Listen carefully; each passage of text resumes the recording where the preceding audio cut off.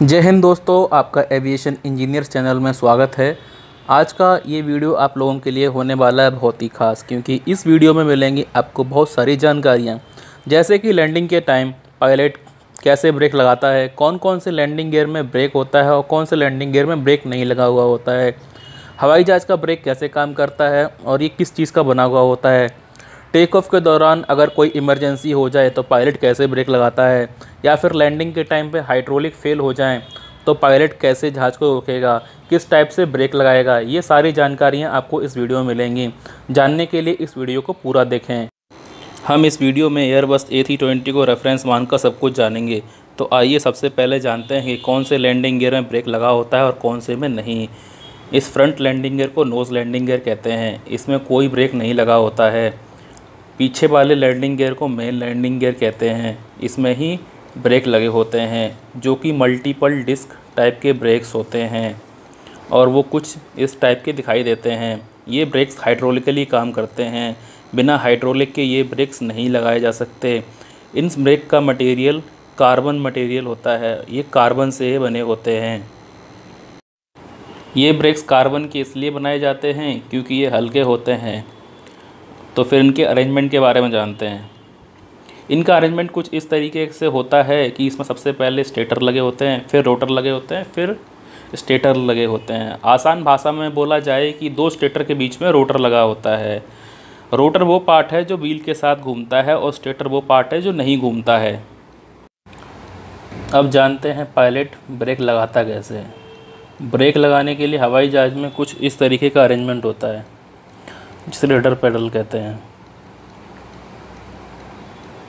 इसके ऊपर के हिस्से को दबाकर ब्रेक लगाया जाता है। अगर ये सही तरीके से नहीं दबाया गया तो आपका ब्रेक नहीं लगेगा। उसके अलावा आपका रडर मूवमेंट हो जाएगा, लेकिन ब्रेक नहीं लगेगा। देखिए, कुछ इस तरीके से हम इसे दबाते हैं। जैसे ही ये इस तरीके से दब जाता है, उसके बाद क्या होता है? हाइड्रोलिक प्रेशर अपना पिस्टन के पास पहुँच जाता है। पिस्टन कर, क्या करता है? स्टेटर को दबाता है। स्टेटर जो प्लेट होती है रोटर प्लेट को दबाती है। रोटर प्लेट जब दब जाती है तो फ्रिक्शन की वजह से रोटर प्लेट रुक जाती है और आपका व्हील का मूवमेंट रुक जाता है। इस तरीके से ब्रेक लग जाता है। ये तो हो गया ब्रेक लगाने का नॉर्मल तरीका। आपको पता ही होगा, किसी भी फ़्लाइट का सबसे क्रूजियल टाइम होता है उसका टेक ऑफ़ और लैंडिंग। तो मैन्युफैक्चर ने पायलट का बर्डन कम करने के लिए एक ऑटो ब्रेकिंग सिस्टम लगा दिया। मतलब कि पायलट को लैंडिंग के टाइम ब्रेक लगाने की कोई टेंशन नहीं लेनी है। जहाज़ खुद ही ब्रेक लगा लेगा।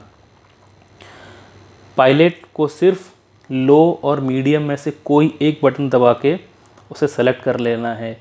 लो और मीडियम रनवे की लेंथ के हिसाब से सेलेक्ट किया जाता है। अगर रनवे लंबा है तो वो पायलट लो ब्रेकिंग सिस्टम लगाता है। अगर रनवे मीडियम साइज़ का है तो मीडियम ब्रेक लगाता है।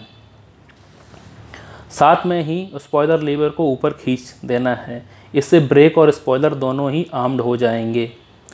जब जैसे ही टचडाउन होगा पायलट थ्रस्ट लीवर को फॉरवर्ड आइडल या रिवर्स आइडल पर लेकर आ जाएगा। अपने आप ही स्पॉयलर खड़े हो जाएँगे और व्हील में ब्रेक अपने आप ही लगना चालू हो जाएगा और जहाज़ सेफली अपनी जगह पर जाके रुक जाएगा। इससे पायलट का ध्यान नहीं भटकता और इससे सेफ्टी फीचर इंक्रीज़ हो जाता है और यह क्राफ्ट सेफली ही लैंड करके आराम से ब्रेक लगा लेता है। और इसमें एंटी स्कीडिंग फ़ंक्शन भी मिल जाता है। मतलब कि यह क्राफ्ट रनवे पे फिसलेगा नहीं। अब जानते हैं टेक ऑफ़ के टाइम अगर कोई इमरजेंसी हो जाए तो पायलट कैसे ब्रेक लगाता है। अगर टेक ऑफ़ के टाइम कोई इमरजेंसी हो जाए जहाज़ को रोकने के लिए पायलट टेक ऑफ़ से पहले ऑटो ब्रेक पैनल में मैक्स बटन को प्रेस कर देगा। साथ में ही स्पॉइलर लेवर को खींचकर उसे आम कर देगा, जैसा कि आपने पहले देखा था। जब टेक ऑफ़ हो रहा होता है, तब थ्रस्ट लीवर अपने मैक्सिमम पोजीशन पर होता है। अगर कोई इमरजेंसी हुई तो पायलट थ्रस्ट लीवर को आइडल पोजीशन पे लेकर आ जाएगा। जैसे ही थ्रस्ट लीवर अपने आइडल पोजीशन पे आएगा, सारे स्पॉयलर खड़े हो जाएँगे और मैक्सिमम ब्रेक अपने आप लग जाएगा और एयरक्राफ्ट रुक जाएगा। इस केस में ब्रेक में आग भी लग सकती है क्योंकि बहुत ज़्यादा हीट जनरेट होती है। हर केस में थ्रस्ट रिवर्सर और स्पॉइलर आपके ब्रेक को असिस्ट करेंगे, ड्रैग क्रिएट कर कर, ताकि एयरक्राफ्ट जल्दी रुके। अब हम जानेंगे, अगर लैंडिंग के टाइम पे एयरक्राफ्ट के हाइड्रोलिक सिस्टम फेल हो जाए, तब पायलट एयरक्राफ्ट को रोकने के लिए क्या करता है? उस टाइम पे पायलट रडर पैरल का यूज़ करता है, फिर एयरक्राफ्ट में लगा इमरजेंसी ब्रेक अकोमोडेटर ब्रेक को हाइड्रोलिक प्रेशर सप्लाई करता है। पायलट सिर्फ़ सात बार ही रडर पैडल को प्रेस कर सकता है एयरक्राफ्ट को रोकने के लिए, लेकिन सात बार प्रेस करने की ज़रूरत नहीं पड़ती एयरक्राफ्ट पहले ही रुक जाता है।